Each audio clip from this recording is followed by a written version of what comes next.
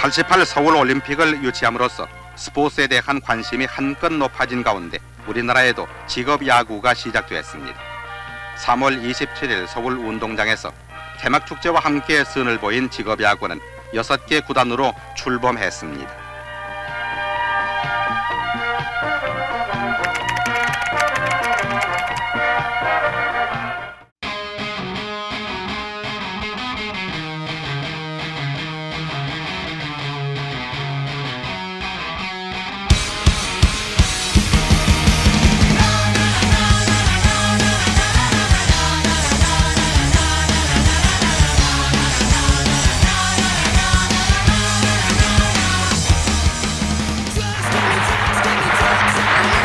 개막 경기에서는 타격전이 전개돼 4개 홈런을 포함한 26개 안타가 터졌습니다. 초반에는 삼성팀이 크게 앞섰으나 연장 10회 말 청룡팀은 이종도 선수의 말루 홈런으로 역전승을 거두었습니다.